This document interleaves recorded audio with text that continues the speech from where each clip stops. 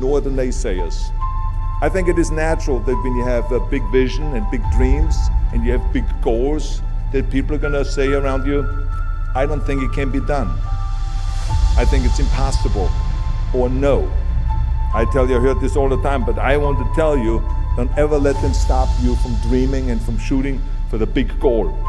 Because eliminate just simply those words no, impossible, and it can't be done. I heard it's possible. When someone said it can't be done, I heard it can be done. And that's exactly what it is. And I wanted to be that one that does it. I wanted to break the new records and I wanted to do something that no one else has ever done. So I think that's what you need to do. Don't ever be worried about that someone hasn't done it. I mean, it started right away when I was 15 years old and I became a bodybuilder. Right after that, when I said, I want to be a world champion in bodybuilding, I want to be Mr. Universe.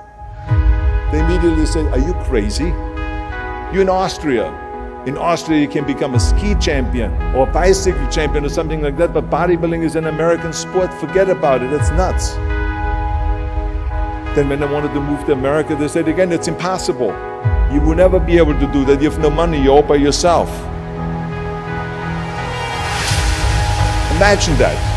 Everywhere I turned, they said, No, it won't happen, it's not going to happen, and forget about it. Luckily, I did not listen. I did not listen because I knew if I worked hard enough and if I worked as hard as I did in bodybuilding, five, six hours a day, that I would make it, that I could prove them wrong. Just think about how many times my career would have stopped. My career would have ended if I would have listened to the naysayers.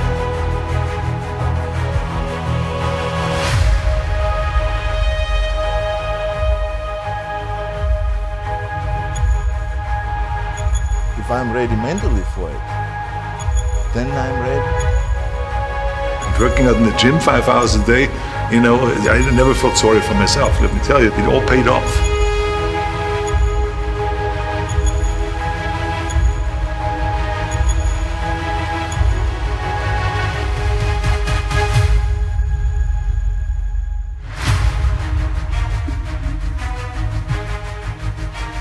be up there on that stage and to lift the trophy overhead and to win the championship over and over and over again. So that was a great goal. You have to have a goal. Now, it doesn't have to be that specific goal, but it has to have some goal. Instead thinking about why do you want to work out? What is your goal?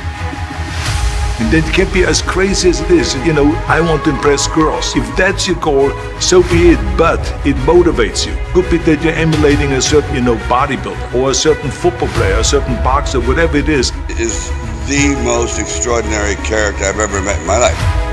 He's done it in three different incredibly difficult fields, most three most difficult fields in the world, and he's gone to the pinnacle of all of them. And what is what he's done here is spreading the wealth and giving his knowledge and opening up his heart to the young people because they are the future. And believe me, you couldn't have a better man shepherd, being a shepherd for you all to show you how to go through it because he's been through it.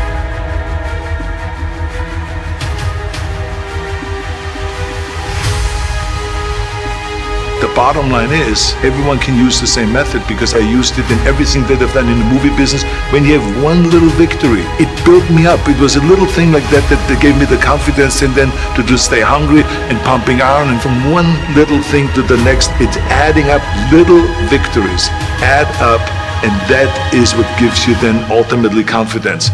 I'm a strong believer of, conquering, of achieving, of climbing, of uh, getting higher and higher to the top in all those things.